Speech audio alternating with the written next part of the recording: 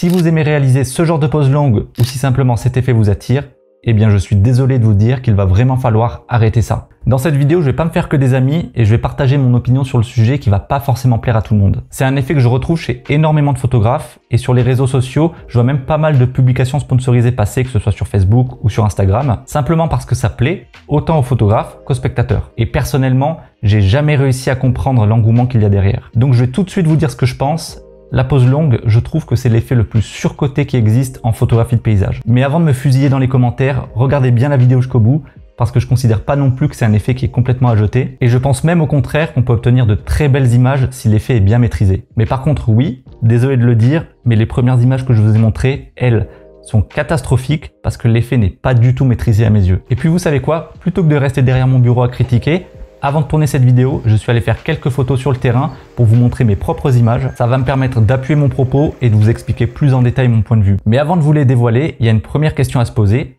C'est pourquoi la pose longue plaît autant? Je pense que c'est simplement parce que ça permet d'obtenir un effet qui n'est pas visible à l'œil nu et donc de voir la scène sous un angle inédit. On va créer un effet de filet qui va lisser la surface de l'eau ce qui apporte une atmosphère calme et sereine à l'ensemble de la scène et ça transmet des émotions fortes aux spectateurs. Et oui, je pense vraiment que c'est un effet qui permet d'être plus créatif et de mieux raconter son histoire à travers ces images. Pour les plus débutants d'entre vous, je vais quand même faire un petit rappel de son fonctionnement. Pour réaliser une pause longue, il faut laisser l'obturateur de son appareil ouvert pendant plusieurs secondes et donc utiliser une vitesse d'obturation lente. Par exemple, 5 secondes d'exposition, 20 secondes, 30 secondes ou même plusieurs minutes en utilisant le mode bulbe. On cherche à capturer les éléments en mouvement dans la scène pour obtenir un flou de mouvement et c'est ça qui va créer cet effet de filet qui va donner un aspect lisse à la surface de l'eau. Je parle de l'eau parce que généralement c'est l'élément le plus courant pour faire de la pose longue mais ça marche aussi très bien sur les nuages, sur les étoiles ou sur les voitures. Pour les gens un peu expérimentés, on peut même s'amuser à faire du light painting. Et ce flou de mouvement, on cherche à l'avoir en évitant un flou de bouger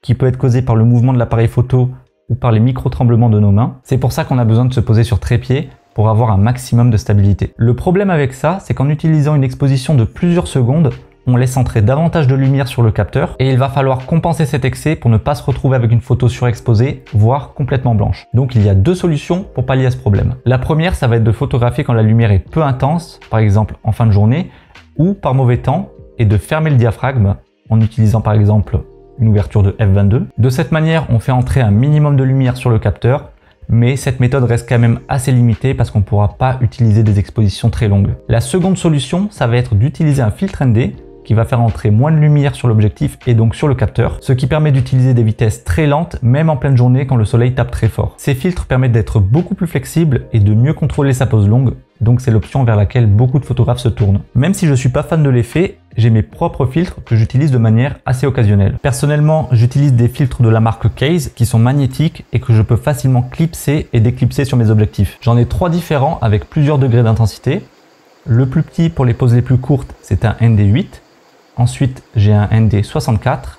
Et pour les poses les plus longues, le filtre le plus puissant, c'est mon ND1000. Vous voyez que plus le chiffre est grand, plus le filtre est sombre et donc bloquera davantage de lumière. Des filtres, il en existe de toutes sortes, mais j'ai choisi ceux-là parce qu'ils sont compacts et légers. En fait, je voulais surtout pas m'encombrer avec ces gros filtres carrés qui nécessitent tout un système d'attache. Avec cela en une demi-seconde, hop, c'est fixé et je suis prêt à faire des photos. C'est pas du tout un placement de produit, c'est juste du matériel que je trouve excellent et que je vous recommande si vous cherchez à vous procurer des filtres de qualité. Maintenant que j'ai posé les bases et que c'est bien clair pour tout le monde, on va vraiment entrer dans le vif du sujet. Pour moi, il y a deux compétences indispensables quand on s'intéresse à la pose longue. Premièrement, c'est la compétence technique, c'est-à-dire être capable d'utiliser des vitesses d'obturation très basses. Parce que c'est pas donné à tout le monde. On peut pas réussir une pose longue sur un coup de chance en utilisant le mode tout automatique de son appareil il va forcément falloir utiliser le mode S ou le mode manuel. Il faut comprendre la relation entre la vitesse d'obturation, l'ouverture du diaphragme et la sensibilité ISO, c'est-à-dire qu'il faut connaître sur le bout des doigts les notions du triangle d'exposition. Et croyez-moi, c'est pas aussi simple que ça en a l'air.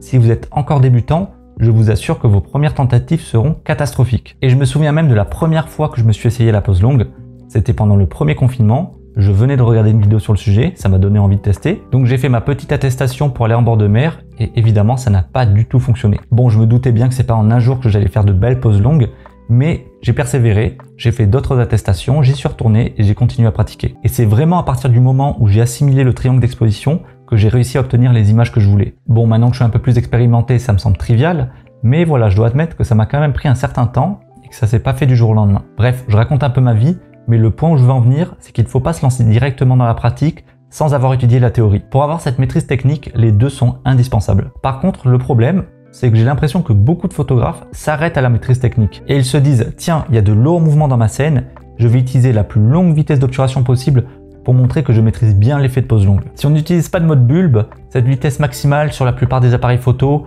elle est d'environ 30 secondes, mais sur le mien, elle est de 1 minute. Mais qu'on utilise 30 secondes ou 1 minute, vous allez voir sur les images que je vais vous montrer que le rendu est plus ou moins similaire. Et je trouve ça dommage, parce qu'à mon avis, toutes les scènes qui présentent de l'eau en mouvement ne méritent pas 30 secondes d'exposition. Donc une fois qu'on a la maîtrise technique, il y a une deuxième compétence à travailler qui est la maîtrise artistique c'est-à-dire être capable de doser l'intensité de la pose longue. L'effet de filet, je trouve ça vraiment sublime, mais quand il est trop intense, comme sur les premières images que je vous ai montrées en début de vidéo, je trouve que ça dénature complètement la photo. C'est comme quand on règle ses curseurs en retouche photo.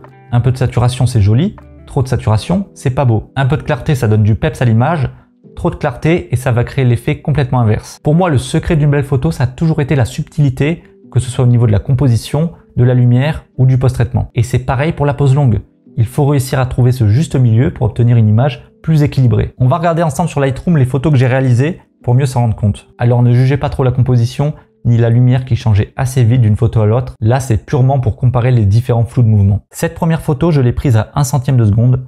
C'est une vitesse d'obturation qui pourrait être proposée par défaut par le mode automatique. Et je pense qu'on est tous d'accord pour dire que l'effet est pas génial et la photo est tout ce qu'il y a de plus banal. Ensuite, je vais progressivement descendre ma vitesse en utilisant mes filtres ND. Ici, on est à 1 cinquantième de seconde, 1 trentième de seconde, 1 quinzième, on commence à voir l'effet de filet même s'il est encore très léger, 1 sixième, et là ça commence à devenir vraiment intéressant, 1 quart de seconde, une demi-seconde, une seconde, 2 secondes, ça commence déjà à devenir un peu trop intense, 5 secondes, 15 secondes, 30 secondes, et pour terminer, une dernière à 60 secondes d'exposition qui est la limite de mon appareil. Alors, laquelle vous préférez? Personnellement, c'est l'exposition de une demi-seconde qui me parle le plus parce que je trouve que l'effet est parfaitement dosé. D'ailleurs, on constate bien la différence quand je passe de 1 quinzième de seconde à 1 sixième de seconde à 1 quart de seconde, alors que pourtant l'écart entre ces vitesses est minime. La vitesse est presque deux fois plus lente, donc l'effet est environ deux fois plus intense entre chaque photo. Et quand on compare entre 30 secondes et 60 secondes, comme j'ai dit tout à l'heure, il n'y a presque pas de différence malgré l'écart qui est assez conséquent, parce qu'à 30 secondes, l'eau a déjà perdu tous ses détails. En fait, c'est vraiment la raison pour laquelle je fais cette vidéo, et c'est ça dont j'ai horreur sur les expositions de plusieurs secondes. On perd les détails du mouvement, l'effet devient brouillon, et ça crée juste une masse blanchâtre qui n'a rien du tout d'esthétique. Et ça commence vraiment à se ressentir à partir de 5 secondes. Sur mon image préférée à une demi-seconde, on perçoit bien les détails du mouvement de l'eau et ça crée comme des petites lignes directrices qui donnent vraiment cette sensation de dynamisme. J'ai vraiment du mal à apprécier l'image de gauche. Pour moi, le photographe cherche juste à dire Hey, regardez, je maîtrise mon appareil et ma vitesse d'obturation. Enfin, en tout cas, c'est comme ça que je ressens. Alors que sur l'image de droite, l'effet est quand même un peu plus discret et un peu plus subtil,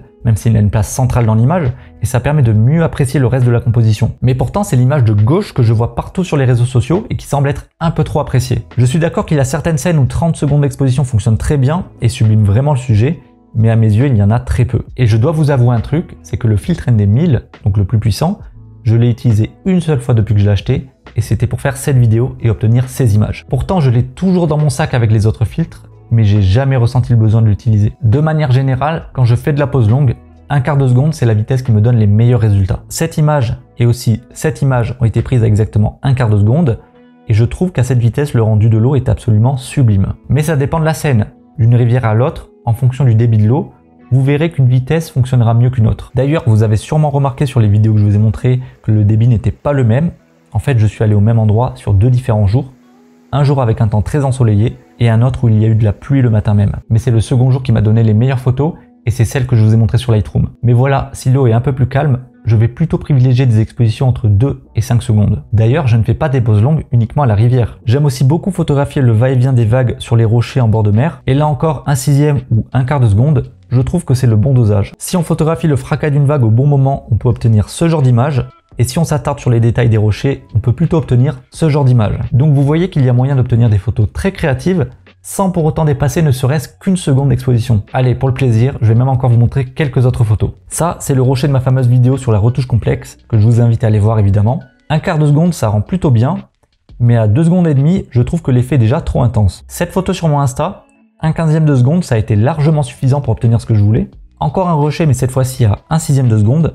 Et c'est cette texture que je trouve vraiment incroyable. C'est elle qui me fait vraiment apprécier cette vitesse. Certains me diront que 1 sixième de seconde c'est pas de la vraie pose longue, mais moi je considère que oui. Du coup je me demande, est-ce que je suis vraiment le seul à apprécier ce genre de vitesse? Parce que je vois tellement de poses longues que je considère comme mal maîtrisées que ça me met le doute. 30 secondes d'exposition, en fait je m'en sers uniquement en photo de nuit pour capturer les étoiles ou la voie lactée. Et le mode bulbe, je ne m'en sers absolument jamais parce que de nuit, au-delà de 30 secondes, on commence à avoir du flou de mouvement sur les étoiles dû à la rotation de la Terre. Et je préfère avoir des étoiles qui forment des points bien nets, donc jamais plus de 30 secondes d'exposition. Et il y a encore une autre raison toute bête qui me fait préférer les vitesses pas trop lentes, c'est que je peux réaliser toutes mes photos à main levée. Mon trépied, je l'utilise uniquement en photo de nuit et pour filmer cette vidéo, mais quand je suis en montagne, je n'aime pas trop l'embarquer avec moi parce que ça alourdit vraiment mon sac et ça m'incite à rester posé longtemps au même endroit. Je préfère cette idée de rester en mouvement et de photographier de manière spontanée. À un quart de seconde, je peux retenir mon souffle ou prendre appui sur un rocher et quand même obtenir des images très nettes avec un objectif stabilisé. Alors je dis pas que c'est facile, mais j'y arrive plutôt bien. Malheureusement, mon ultra grand angle, lui, n'est pas stabilisé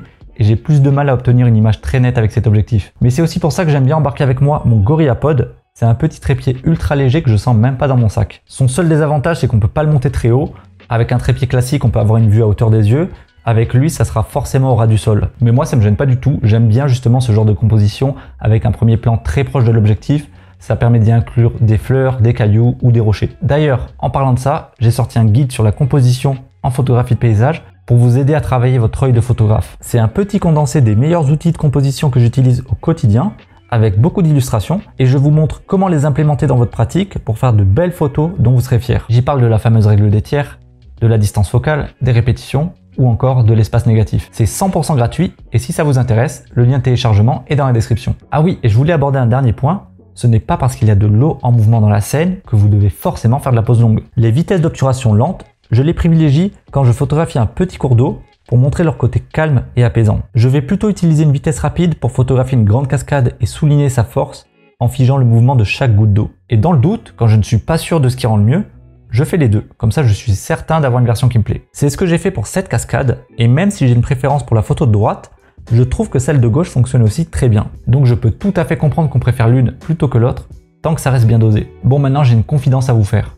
J'ai volontairement donné un titre provocateur à cette vidéo pour vous faire réagir, mais en réalité vous faites ce qui vous chante. Je suis personne pour vous dire ce qui doit être jugé comme beau ou pas beau, qui doit être du bon goût ou du mauvais goût. Chacun a ses préférences personnelles et surtout, chacun a sa propre manière de raconter son histoire à travers ses images. Donc si les pauses longues de 30 secondes vous touchent davantage, eh bien continuez à en faire. Mais si vous restez dans cette optique de pause très longue, donc on va dire au-delà de 5 secondes, c'est ce que moi je considère comme très long, pour beaucoup de scènes, vous verrez que 10 à 15 secondes d'exposition, ça sera déjà largement suffisant pour bien lisser l'eau, mais en gardant quand même un tout petit peu de détail. Ce que je veux dire, c'est de ne pas faire uniquement des pauses de 30 secondes.